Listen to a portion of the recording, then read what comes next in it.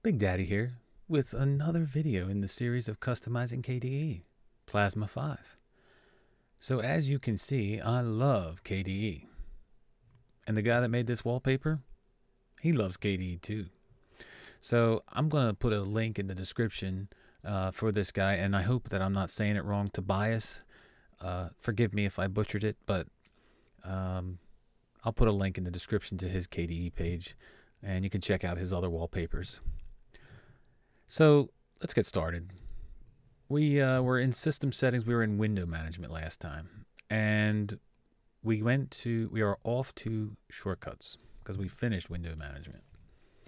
So let me give the normal disclaimer that I'm not the expert at this area because I'm not.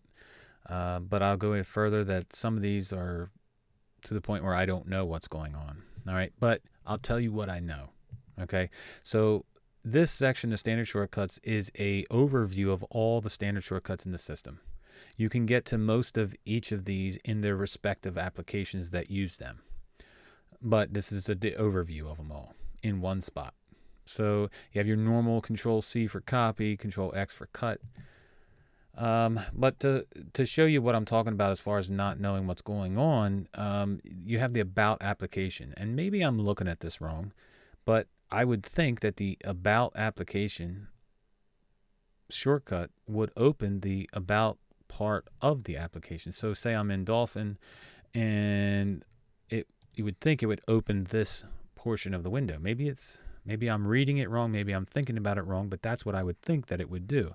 And if I hit Alt Shift and A, nothing happens. So maybe I'm thinking about it wrong. If you know what the problem is there, you just let me know. Um, because I'm not sure exactly. So we're off the global shortcuts.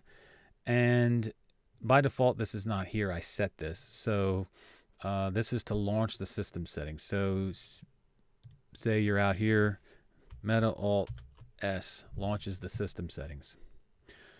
Um, and that's basically the only thing you have under system settings. Now these are categories, so they have multiples in them. So like audio volume, and audio volume should probably be under media with media controller as well because this is the volume for your mic uh, and your regular volume up and down and the mute. And the media player has con- key controls as well which seem to go with the volume but either way um, these are controlled by your media keys and if you have a keyboard that has media keys they just automatically work. If you have an older keyboard that doesn't have media keys, you can change these to whatever you like to actually uh, get the options to go to the next song, stop, increase your volume. So there's also music players out there that don't respond to the media keys for whatever reason. So you can change these in here to a certain key and then change it in your music app and it will actually change the media for you. So KAccess has the screen reader. That's pretty much what's in there. And the daemon has the touchpad. So if you have a touchpad of any kind, this is where your shortcut keys would be. Um, now, KWin. KWin is a whole nother world. KWin is the window manager of KDE. And in here, anything that you can do in KDE, in KWin, you can do in as a shortcut, which is awesome.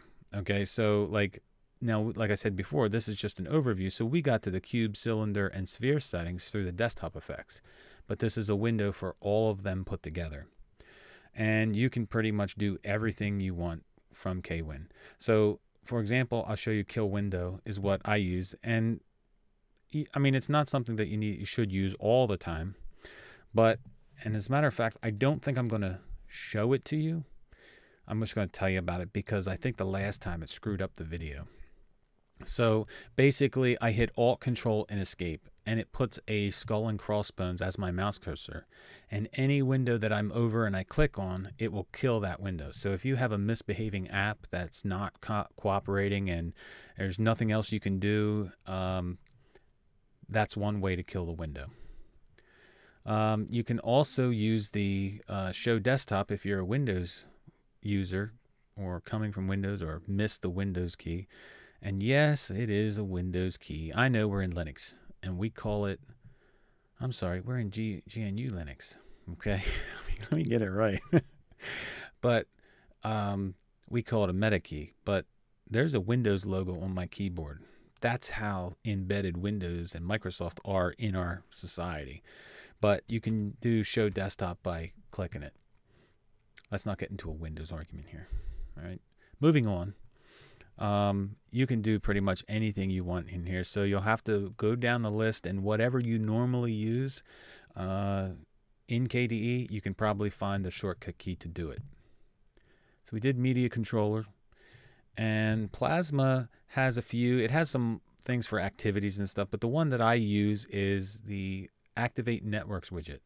So by default, I have my um, network icon just sitting behind the uh, system tray being hidden because I don't want to see it. I like a clean panel and I don't want to continually see it, but I do need it every once in a while. So I can hit Alt N and see my connections, which I'm connected to, and change it from there. So just a quick shortcut for it.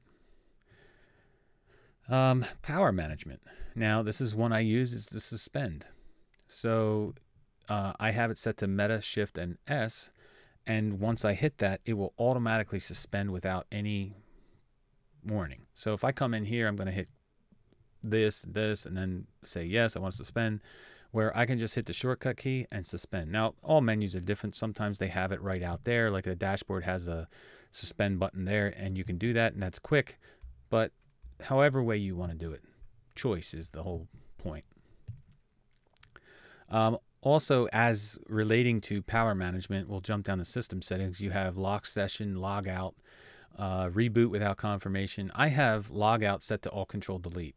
Now, I'm not exactly sure what the difference between log out and log out without confirmation is because, and I mean, I know what it says the difference is, but when I hit log out, when I hit all control delete, it logs out without any confirmation. So I don't know where this one comes in, but either way, it works. All right, jumping back up to run command, which is KRunner. Now, KRunner is one of those apps that I'm going to have to do a video on because it is an awesome KDE app. And it's one that's really overlooked, especially by people that are just coming to KDE. Um, it's Synapse on steroids. That's basically what it is. Okay. Um, so the default key is Alt F2, but I changed mine to Alt Space, which is easier for me to actually uh, hit rather than stretching my hand up and trying to hit Alt F2 and trying to get the F2 rather than F1. Um, I just hit Alt Space and it runs. And it's actually really fast to uh, launch applications. I mean, it's quick and easy. So we'll do a video on that sometime. All right, so we did system settings and the drop-down terminal, it puts itself in there with F12 by default when it installs because that's the key for the drop-down menu. Now, the web shortcuts, we can just pretty much skip over these last two sections. Okay, I won't skip over them, but the web shortcuts are something that was built into KDE a long time ago, and they were pretty much for the Konqueror browser. And they no they don't I mean Konqueror browser is not even installed on the newer Plasma editions, the KDE editions, um, and they don't work with Opera, Firefox, Chromium, any of the newer browsers because you don't really need them because the whole point was to be able to. This allowed you to do in Konqueror what by default you can do in any modern browser, which is type the keyword in and then type what you're searching for. So, um, yeah, you don't need these. And custom shortcuts, I'm not even going to act like I know all that's going on in here. Um, I did at one point set up a custom shortcut, and it was so important that I don't even remember what it was. That's how long ago it was.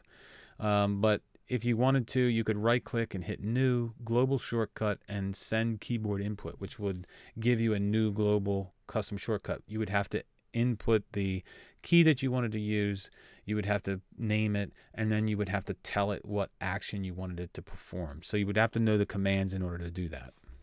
Um, you could also do an actual command. So, but like I said, I'm not a expert in that, so I'm not even going to go there.